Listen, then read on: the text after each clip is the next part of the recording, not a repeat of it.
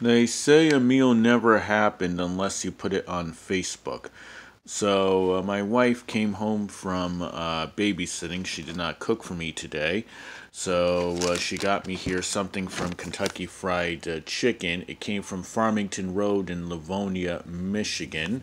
Uh, looks like it was a breast, uh, mashed potatoes with gravy, a biscuit, raspberry tea, and a chocolate uh, cookie.